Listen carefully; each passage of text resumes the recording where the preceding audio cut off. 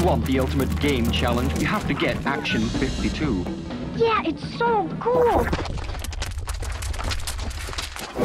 Super Mario Brothers 3! If you were old enough to remember the heyday of the NES, then you might recall the infamous multi-carts, unlicensed cartridges containing anywhere from a dozen games to upwards of a hundred or more. One of the most well-known of these is the Action 52, a multi-cart released in 1991 that contained 52 unlicensed games for the NES. Action 52 also saw release on the Sega Genesis in 1993, and the marketing materials for the game even indicated a Super NES version was planned at one point. The contents of this multi-cart, developed by Florida-based Active Enterprises, are widely regarded as some of the worst games ever made, and Action 52 is routinely a subject of ridicule. Almost all of the games on Action 52 were unremarkable rip-offs, but one called Cheetah Men managed to stand out from the rest. The creators believed the game had the potential to be the next Teenage Mutant Ninja Turtles, so they planned for a standalone sequel. However, Active Enterprises folded before Cheetah Men 2 was released, and the game should have never seen the light of day.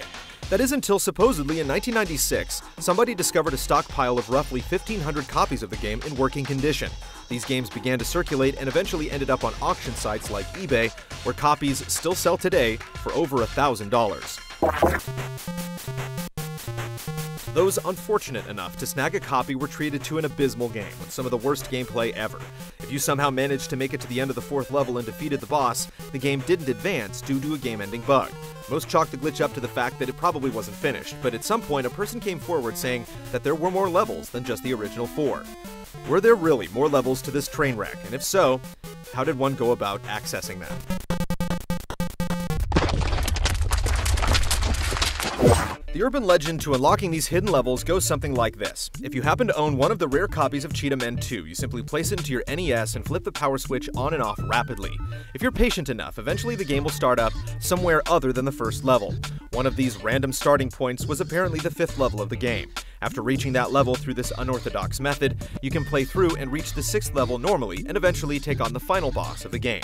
Considering how rare and expensive Cheetah Man 2 is, we were unable to secure a copy on our own through traditional means. So instead, we decided to resort to something a bit more drastic.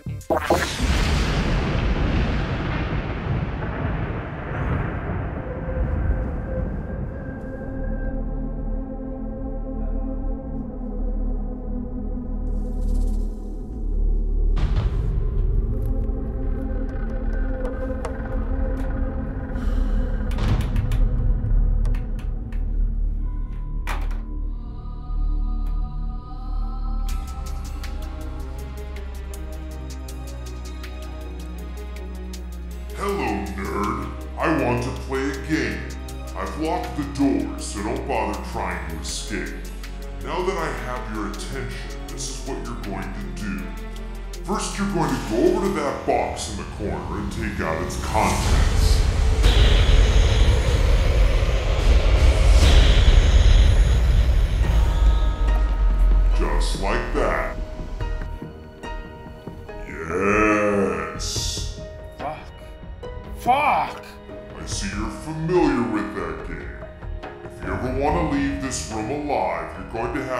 Access the hidden levels in Cheetah Men 2 by flipping the power on and off. Come on, I played it enough. Play or die. The choice is yours.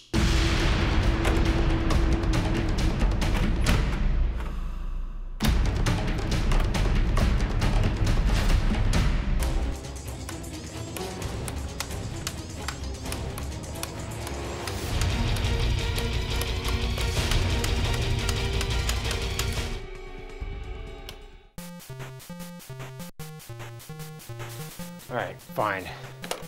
Let's do this.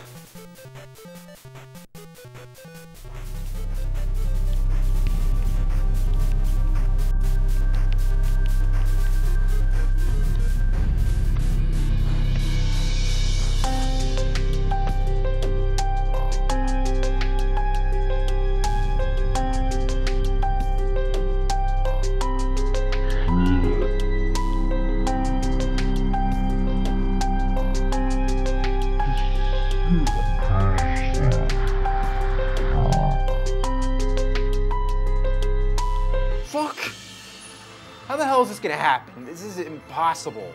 Why the fuck did I even put this fucking piece of shit in here? I'd staple my balls to the ceiling if I could reach. That's very good, nerd. You finally understand.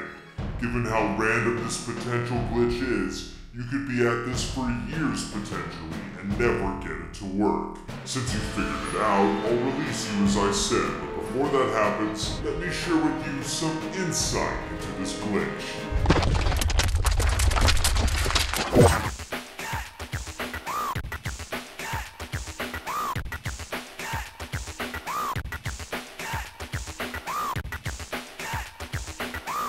In order to better understand the glitch that plagues Cheetah Man 2, we here at GT decided to reach out to Damian Yerrick, an NES engineer who works on NES emulators and custom NES ROMs.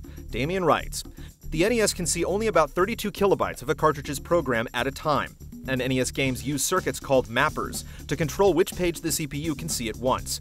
If you've ever opened a cartridge and seen a chip marked 74HC161, MMC1, or MMC3, that's a mapper.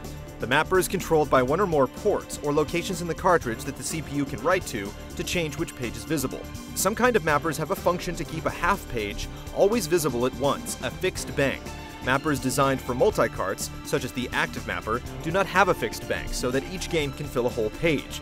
Other kinds of mappers have a circuit to clear out the mapper whenever the 1.7 MHz CPU clock signal is interrupted, a power on reset. The power on reset circuit in the active mapper might be poorly engineered.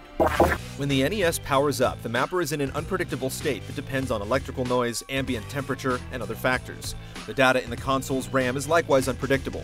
In order to start the program properly, each page needs to have a reset stub, or a short piece of code that runs when the console is powered on, or reset, and writes a page number to the mapper's port, so that the CPU can start from a known page. I've read that each level of the original Cheetah Men is stored on a separate page and can be extracted to its own ROM file. And if the code quality in Cheetah Men 2 is anything like what I've read about Action 52, some of the reset stubs might be defective. A defective stub would cause the program to start executing in the wrong page, or to just freeze. As you've seen from the footage and from the previous statement, these games were a mess in terms of their coding. We could just attribute the bugs to the fact that these were unlicensed games that were poorly coded, but there's actually more to the story than mere speculation. During the course of our investigation, we came across an article written by Action 52 connoisseur and journalist Adam Erickson, who interviewed a former Active Enterprise employee named Mario who had a hand in the development of Action 52. Mario shared his experience working at the company and revealed some insight into why these games were so buggy. Mario told us that Vince Perry, the owner of Active Enterprises, wanted Mario and some colleagues to work on a game called Action 52. After signing contracts and then completing training at a facility in Salt Lake City, Utah, Mario began working on the game. Mario doesn't remember why, but for some reason Vince wanted all 52 games completed in three months. Anyone who would try to develop 52 games in three months was asking for trouble. If you don't think Mario's testimony is strong enough evidence, then check out this excerpt from an expose on Active Enterprises and its owner Vince Perry that ran in the Miami Herald back in July of 1993. The article delves into the financial background of the company, but also reveals that Perry farmed out the programming of Action 52 to college students. Even back during the NES days, any respected developer would tell you that a three month development cycle relying only on amateur programmers would have been a terrible idea.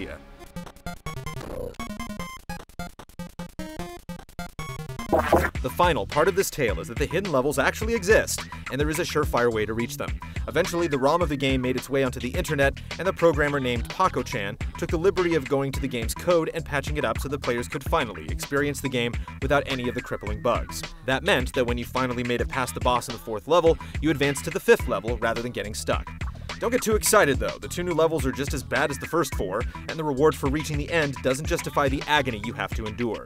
Paco-chan also echoes the earlier sentiments about the sloppy nature of the game's programming by adding that he discovered there's a glitch in Cheetah Men 2 that prevents the game from recognizing you defeated a boss. The game does some kind of check at the second and third boss that always returns a wrong value, preventing anyone from advancing to the next level. Paco-chan simply went into the code and forced the game to ignore the wrong value and return the correct one so the players could advance in the patched ROM. So as you can see, the hidden levels do in fact exist, but due to a multitude of factors ranging from poor coding practices to a rushed development cycle, they were originally only accessible via the power flipping glitch. Like, yeah. you just wasted all my fucking time. I just had to play this fucking piece of shit again. Did you see? I did the glitches episode where I, I showed that the levels do exist. You know that, right? Like, like they exist. What do we have to know why they exist?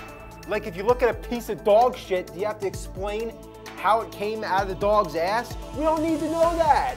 Just because something sucks, we don't need, need to know why it's come to be. Fuck this. Can I go now? Am I done?